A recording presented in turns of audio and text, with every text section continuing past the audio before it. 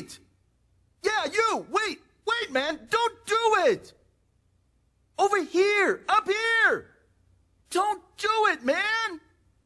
Drop that gun! Uh, be careful, God damn it! Oh, look, buddy. Before you try to kill yourself, before you throw your life away for some corporation, why don't you try something better? Have you ever thought about putting yourself up for sale? Ever wonder about how much money you could get if you sell your body, your mind, your spirit? Everything is for sale. The system made it this way.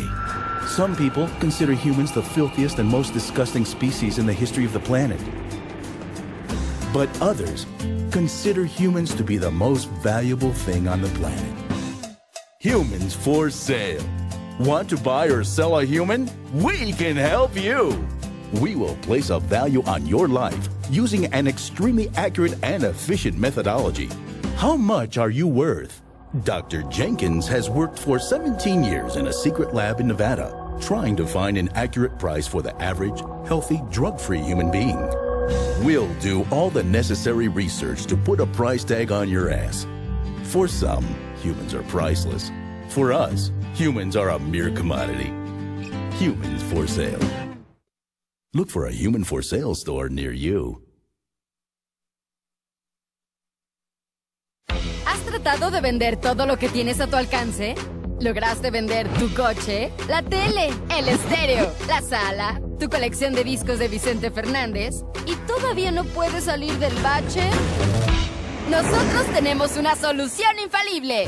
¿Cuánto cuestas? ¿No sabes? Nosotros te ponemos el precio. La metodología seguida por el Dr. Jenkins es eficiente y confiable. Analizamos todos los aspectos de tu vida, tu alimentación, tu escolaridad y lo más importante, tu herencia genética.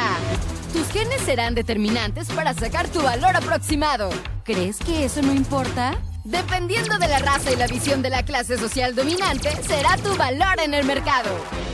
Ante los ojos de Dios, todos somos iguales. Pero ante los ojos de humanos a la venta, todo tiene un valor. Y tenemos ofertas irresistibles.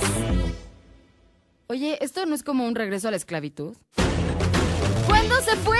Actualmente, todos somos esclavos. Humanos a la venta. Te ayuda a venderte e incluso a rematarte, si es necesario. ¿Y tú? ¿Cuánto cuestas?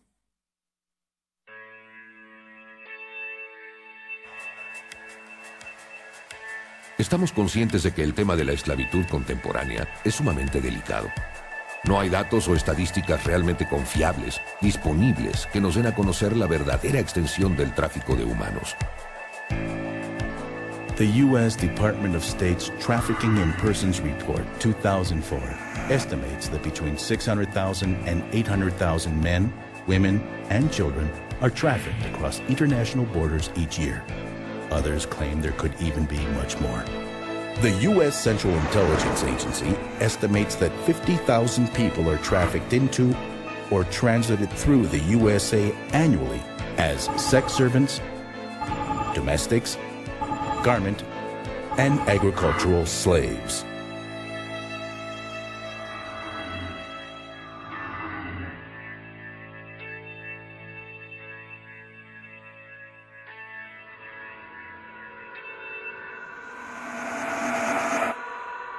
Si un ser humano está a la venta, es porque alguien lo quiere comprar.